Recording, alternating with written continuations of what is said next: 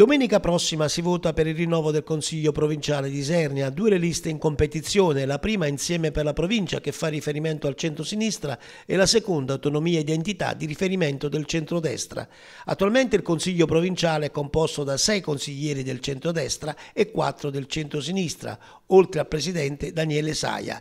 Si voterà dalle 8 del mattino alle 20 di sera. Immediatamente si procederà allo spoglio. Questi i nomi dei candidati consiglieri.